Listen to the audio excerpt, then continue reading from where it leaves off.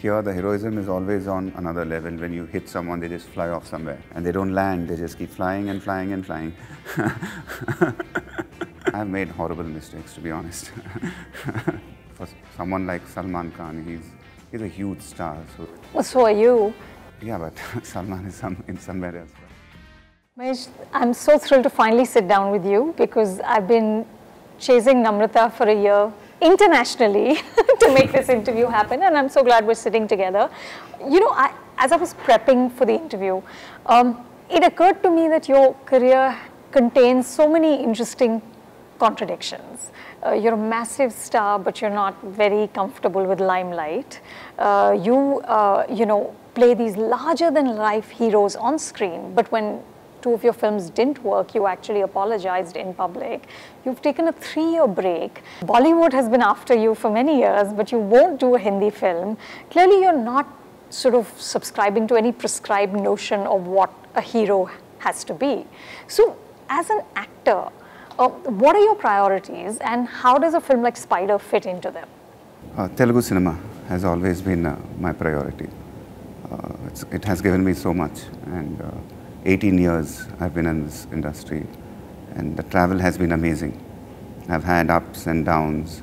The important thing is I learned from my mistakes, and uh, today I'm very proud that Telugu cinema has reached where it, it has right now, post Bahubali, thanks to uh, S.S. Rajamouli. We have immense respect. Our budgets have gone to another level. The production values have gone to another level. And uh, so this, is, this has been my dream always, that you know, people should talk about Telugu cinema. And uh, to be honest with you, I've never had many exciting offers from Bollywood. So uh, I would I would be like, okay, it's okay. This is where I am from, and this is where people should talk about Telugu cinema. And when I saw that happen to Bahubali, I was, to be honest, I was very, very happy. I felt like as if my dreams were achieved. Really? Uh, really, to be honest, and uh, I congratulated S.S. Rajamouli. And so it's, this has been my dream, and he's shown us that if, if you can dream, you can achieve it. That's what he did with Bahubali. And post that, I think the biggest film coming from our industry is Spyder, and uh, very, very excited, waiting for the release of the film. But Mahesh, is that something you take into consideration when you're selecting? I imagine you have plenty of scripts to choose from. Are you looking for bigness? Are you looking for large sort of? Yeah, you always dream of that, but then uh, the script has to come to you because it has to have that universal appeal to break the language barrier and go and uh, you know play in another market altogether. That's what Bahubali did. Any language you release it, people just went and saw the film. So it has to have that one universal appeal for the script. So that comes down to the director, comes down to the story. And uh, I'm lucky that I got Spyder now. So it's a bilingual film. It's that one big film I've been waiting for. Always wanted to work with a director like A.R. Murugadoss. And uh, it's my dream is coming true.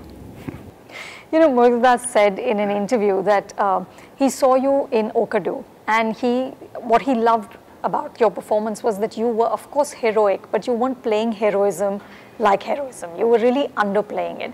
So, how do you do that, Mish? How do you play a superhuman, but you're very relatable? Yeah, I've never planned that, to be honest. My, uh, my performances have always been uh, very subtle. I was never over the top. Uh, over the top.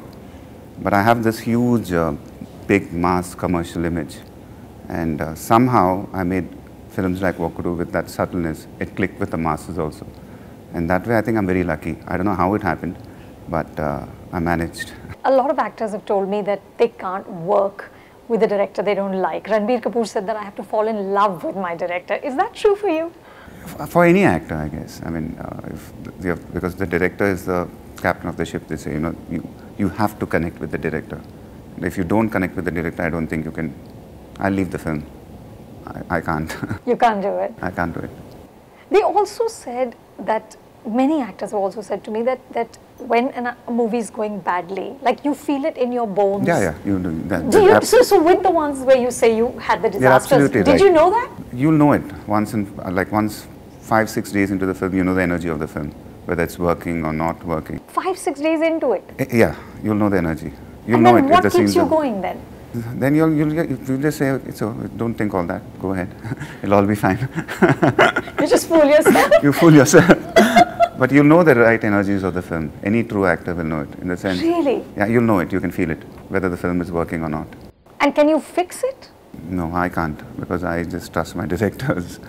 I'm saying the energy of the film. It's like, so you're fixing in the sense like you would go back and say, okay, did I judge it correctly? Is this the right kind of script? So, all, you know, you know those energies happening. It's not just you and the director. It's the, all the other actors, the energy of the set, the energy of the lightmen, the entire unit energy you will feel. And you'll also feel it if it's a successful film. The vibe in the set. You'll, you'll know it. I can't explain it, but you'll know it. So, do you, when you're prepping for a role, um, do you kind of plan on how high you'll pitch the character? What What is your preparation? My, I try to keep it very simple. I follow the director. once I okay the story, once I okay the project, I blindly follow my director. I've always done that. And that way, every film I've come up with something new. That's what I've done it. And uh, so I keep it very simple. So sometimes uh, I fell down, things didn't work out, but then sometimes things have worked out brilliantly for me. So I follow my director. You know, Salman Khan once said to me that um, he never wants to play negative characters on screen. He wants to always be positive because he said cinema is too influential in our country. Is that something you prescribe to? Do you always want to be good? No, it depends on, I mean, cinema at the end of the day is entertainment. But for someone like Salman Khan, he's, he's a huge star. So it's, Well, it's so like- are you. Yeah, but Salman is some, in somewhere else. But depends on the script. Like I've played a negative character in one of my films. I wouldn't say negative, negative. It was it was called Businessman, and uh, so it was hugely appreciated for my for my performance. So it depends on the way the director. You're open to it then. Yeah, I'm open to it as long as it's good entertainment. I'm open to it. You know, when you were asked to rate yourself as an actor, you said six or seven. so, what is it that you think you can't do? I, I'm, I'm still insecure, to be honest. Even now, if I go to my set, I'm very, very nervous. Uh, I, I really don't know what I'm doing. So that, that's why I surrender myself to the director. So I completely unlearn myself, surrender to the film, and uh, behave like a newcomer. And so that gives me immense energy, I feel. So uh, that's how I've been always. Why are you nervous? I don't know. For the first four or five days, I think, till I get the grasp of the character. So I'm a little nervous, and it's good in a way, you know. It is good, yes. That's what. But and this hasn't sh- changed at all over no, 19 not at years? all. Not at all. You also speak, Mesh, a lot in your interviews about how much pressure you feel to deliver a hit. Uh, but you say that Namrata balances out the pressure. How does she do that? I'm blessed to have a wife like her, to be honest. I mean, she takes care of all the financials. She takes care of my endorsements. So I am here to work. You know, we have our jobs cut off. And uh, an actor's job is a very high pressure job, I feel. There's a lot of stress and all that. But when I go home, I forget that, play with my kids, spend time with my wife. So she makes sure that, you know, she gives me that balance in life. And that's very important for an actor, I feel. You've also Mesh, spoken very extensively about how important family is to you, and like you just said, you, you want to disconnect and go Yeah. home, and um, and how important your marriage is to you. Uh, and and you said, uh, which I thought was lovely. You said uh, men who are not loyal are foolish, and but but show business is a very tough place for relationships. It is, it is, um, the scrutiny is very harsh, the failure is public. Uh, what do you think is key to really keeping a relationship going? You know, how do you nurture it? I think it's space more than anything else. I mean, that's the key. So between uh, and uh, the film world is a dream, if you ask me. It's very very easy to get lost in the dream. So to have to know that reality that you're just this is just part of your work, but other than that, there's a family there. There are beautiful children there for you. The simple simple things where you get happiness from. So when you know that, you're sorted. But it's taken you a while to sort of become Zen-like, hasn't it? I mean, the, the Yeah, break. that, the three-year break, I would say. Yeah, yeah. I literally took a three-year break because I couldn't handle it, to be honest with you. just the pressure. Just the pressure, it got to me because uh, I delivered one of the biggest hits at that time called Pokiri. It was a uh, phenomenal blockbuster at that time. Salman did it, uh, I think. Uh, Wanted, yeah. Wanted. So it suddenly just took me to another level. And then uh, my grandmother, who was very close to me, I lost her. Then Namrata's parents passed away the same year. So everything was happening at that time, and I didn't know what films to do, what kind of performance to come up, how to satisfy my fans. So it was a whole kind of a confusion happening there. And uh, my son was there, who was eight months old or nine months old. And so I said, I'll take a six month break, spend time with them. But that six month became three years. And uh, I learned a lot during that time, matured, and then I knew what to do exactly. You know, tell me more about a three-year break. I was actually, when, when I, I read about that, I was looking for parallels in the Hindi film industry. And honestly, Mr. Bachchan is one of the few people who took a break and then came back. But, but you know, he was much older. Um, how did you sort of stay secure as an actor while you were taking that break? I, again, Namrata was my strength uh, those three years. I mean, she also was getting worried that I wasn't working. And some magic happened in that three years. I started signing a lot of brands. Telugu actors to do endorsements at that point of time was very new. Nobody did it. So I was one of the first actors. And I ended up signing 12 endorsements or something like that in that three year period. So uh, money wise, we were fine, secure. we built a house with my ad money during that time. so your downs are all ups actually. Ups actually, yeah. You know, when you have a flop, your market goes up. When you're not working, you get ads. so strange it was, and uh, but I learned a lot in that. But at that time, Mahesh, you never felt like I could be missing out on X, Y, and Z film, or somebody else will go ahead. Do you have those kind of? I wasn't because I was very clear in my head that I had to sort it out. In the sense, you know, I need to get that clarity going. How I'm I'm going to approach my career, how I'm going to approach my performances, how I'm going to come out with. So there were a lot of things which I needed to answer to myself, and. Uh, so that three years helped me. And once I was clear, I didn't take a break after that. I've been working non-stop. But you still do one film at a time. That's what it takes now. When, when you do a big film, uh, that time you have to give. And uh, after that, so it's like one film at a time. And are you a vastly different actor after the break than you were before? Yes, completely different. Your approach to acting has approach, changed? My approach has changed. You know, I can adapt. I can go with the script. So uh, that whole approach, that confidence is what I wanted, I needed. And that happened in the three years. But now, do you find that you can have a distance between yourself and your cinema or the, the outcome, eventual outcome of it? Yeah, I would say that. But still the pressure is there. Uh, the film has to work well and all that is there. But that's where uh, Namrata comes in. And uh, she helps me to switch off from this pressure. You know, you also said uh, something very sweet about your father, uh, who of course was also a superstar, that uh, when you deliver a hit, uh, you feel that he becomes 10 or 15 years younger because he's so happy. he's uh, an amazing uh, father, to be honest with you. I remember that when I was young, I did a lot of films as a child star, and some of them were huge hits. So before, like every summer holiday, he would take me to Ooty and do a film. He would direct the film. And uh, so it was like a holiday for me, you know, just every April, May, we would go do a film. Before I knew it, I was a huge, huge child star. And then uh, I missed a year in school, so he said, okay, you go back, finish your college, come back and start acting. So he actually planned my career so beautifully that it's, I'm blessed to have a father like that. But you know, Mish, one of the um, controversies that's been raging in the Hindi film industry now for many, many months is the whole conversation around nepotism. Um, the fact that cinema is a family business and it's especially um, also true for the Telugu film industry. You know, um, your son has also done a film, right? Uh, how do you view it? Do you think? I really don't think so. I mean, it's all boils down to your talent at the end of the day. So I, when I did my first film, Rajkumar, of course there's that initial advantages there, everybody would, because I'm my father's son and it was easy. But then the pressure also is there to prove yourself. And then from the second film onwards, you're on your own. They're not going to just see because you're, you're someone's son. Someone's son.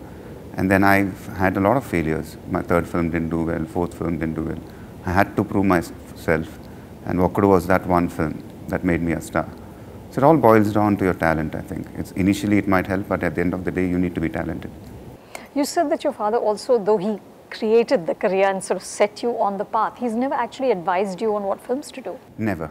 I've never discussed a story with him or uh, he's never advised me saying you should do this. That's the beauty about him.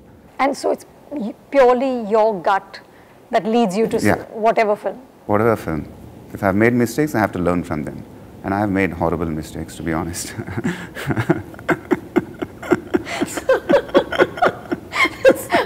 honest admission.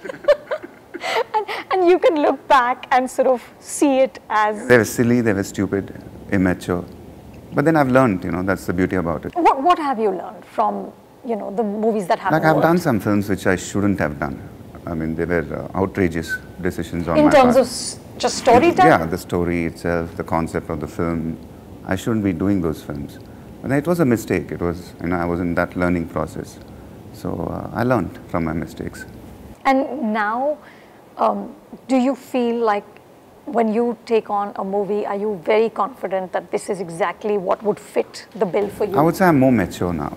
You know, I've learned from my mistakes, and uh, so I know what the audience expect. And now the budgets are so huge, they are massive. and uh, yeah. they're massive. So, so now you know there's a certain sense of maturity now. You'll so and when you select your films. You have talked, Mahesh, about wanting to direct a film. Did I?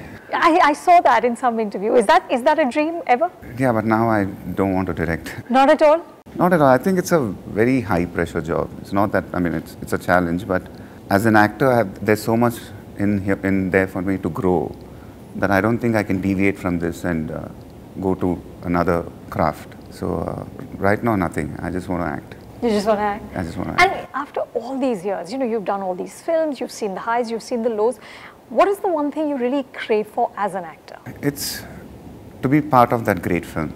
To be honest, I, I'm one of those actors who believe that the film is greater than everybody else, and just to be part of that film, and you know, if it's a great film, the audience saying that it's an amazing film, to be part of that, I think it, it gives me immense satisfaction. Do you feel that hasn't happened yet?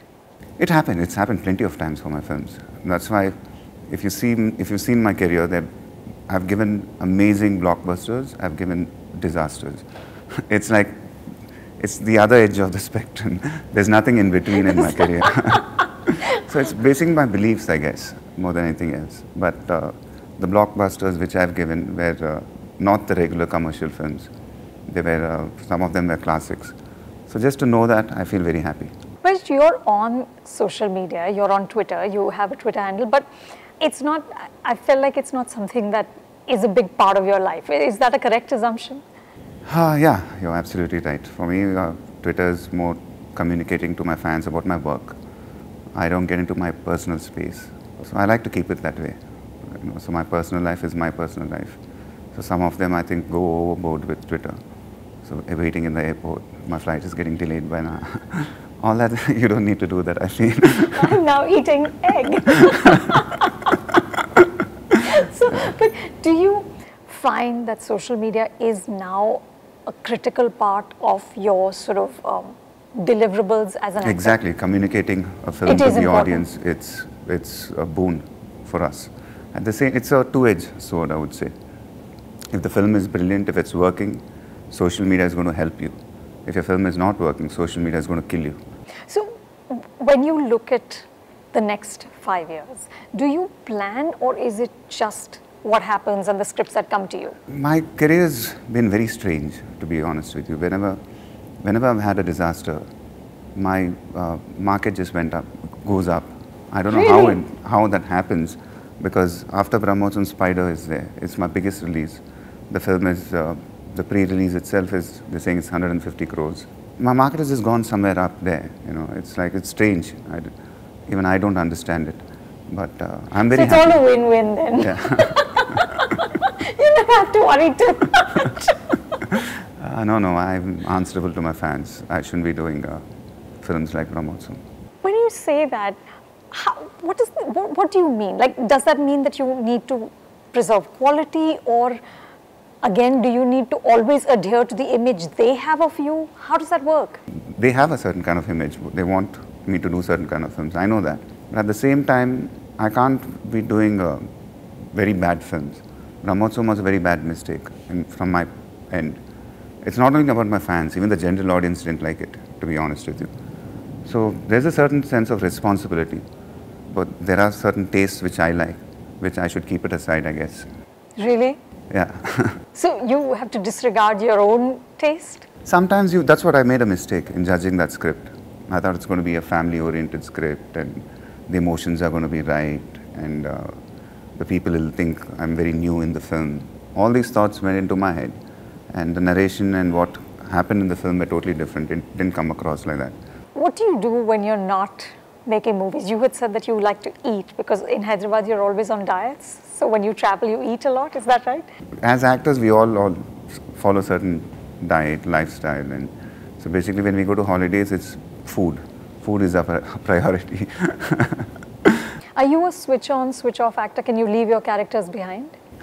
now I am with the kids around. I'm able to do that easily. So uh, once after six o'clock, I go home. I just play with the kids and I switch off. So it's happening very easily now. Yeah. Really? very easily. That's amazing. And you, even though Namrata's sort of looking after your work and stuff, there's no kind of conversations or around the table or normal. Like we would sit down and uh, when the kids are not around. So it's just a five-minute conversation. Very. So this happened, that's happened. Okay, come on now, let's watch a movie. It's what kind of movies do you like to watch? I like Game of Thrones. I've been seeing that, and uh, a lot of TV shows. You're, you're more into television than movies. Also, I make sure I see all the Telugu films, all the Tamil films, all the Hindi films. You see all of it? Yeah, mostly. I have this uh, cube server in the house, and so I all the good films, obviously. But are you able to enjoy it, or do you do, are you sort of checking out the sort of? The I'm landscape? a movie buff. I like to watch a movie basically. So I sit down with a bowl of popcorn and watch movies. and why are you so um, sort of uncomfortable with the limelight? With are you essentially a shy person? I'm not shy. I would like to mind my own business. I would say limelight, I, I, I, wouldn't understand it. I've always been like that. We all grew up That's as right. children. It's your like life, that. yeah. It's my life. So it's uh, day in, day out. I go work, shoot. There's pressure. Everybody is talking about films, about. So it's good to switch off from the limelight. I feel. So you, I have a life. Uh, it's just Outside not acting. yes. Yeah, yeah. Tell me, after a movie like Spyder, which is just so massive in its scale, in its idea, would you ever consider doing something really small and sort of not necessarily mainstream, or do you think that would just be too disappointing for people who are invested? No, in now uh, I wouldn't, to be honest. Like I said, the South has gone to another level. The budgets are huge now, and uh, after Spyder, we would try to do more films like this, make it even bigger, and uh, so my next aim is to just do big films. But Mahesh, is that limiting as an actor? Because then you are expected to do X, Y, and Z in that movie?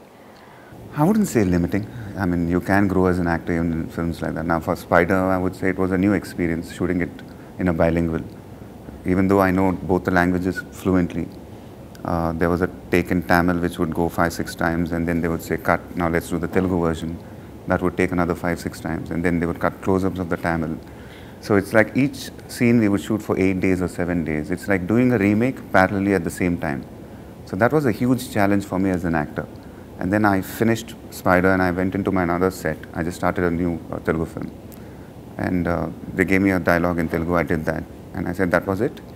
Because it was so easy. Just one language, one take. so I grew as an actor, I feel. And it's a challenge. And even in these big, huge films, for an actor, the responsibility which you take on and uh, if you connect with the audience, which is going to be a wider audience, I mean, that's the challenge I feel. That's a bigger challenge. And Murugadoss and Santosh Sivan, who shot Spyder, said that um, you never lost your temper. Uh, is that something that you sort of have to work at, or you're just naturally I never calm? lose my temper on sets at all. I've never lost it. Never? never in my career. because In 19 years? No, I mean, if I've, I, at my staff, my poor staff, those are the only guys I lose my temper.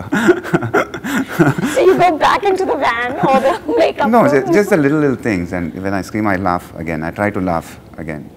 But uh, no, I like the challenge. I've always been like that. And naturally, you're very calm. I wouldn't say very, very calm. I have my moments, but more on the calmer side. and you laugh instantly, right? Yeah. When you lose your temper. Yeah. so no one can take it seriously. So listen, you're not starry in the old school way at all. No, not really. No. No. No. See, I, I've always been like that, even on set. You know, I, I don't like it when I walk in and people stand up because South, they respect your actors here. And uh, I, I, I, I've never liked that, to be honest. So I want my entire set to be normal, cool, that it's not like one hero is acting and you know that.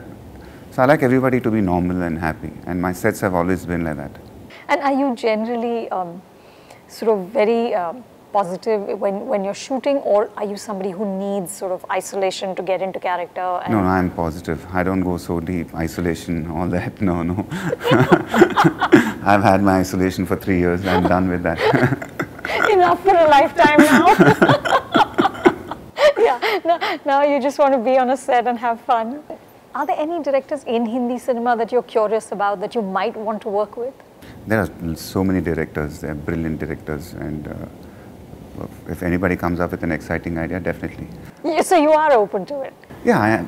But does it ever weigh you down, this sort of heroism in Telugu cinema? Does it ever become a burden? It's, it's all, it always has been. But uh, like I said, I don't think too much into it.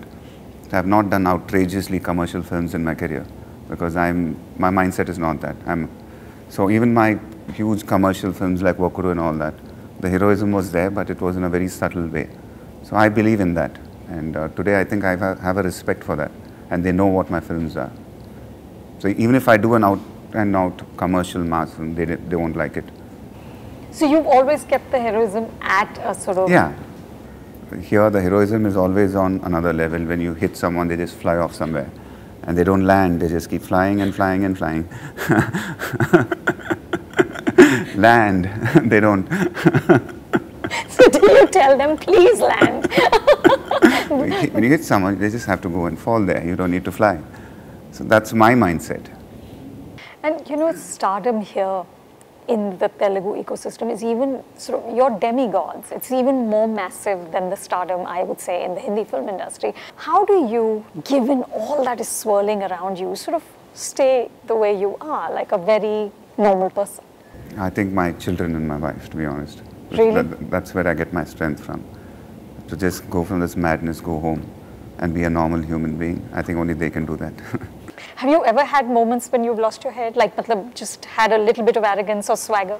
Not really. It's Never? like maybe maybe before my marriage or I don't know. But uh, but then my again because of my father, I guess. So we I mean we all knew what kind of a huge star he was, and he never showed it even one day to us. Like when he came home, he was our father. He never showed that he was the superstar or never. No So when you grow up seeing a man like that, so it wouldn't come to you also, I guess. So no stardom at home. No stardom at home. It's, it's all only out here. yeah. Well, thank you so much and, and good luck with Spyder. Can't wait to see it. Thank you. Thank you. Thank you. If you like this video, subscribe to Film Companion.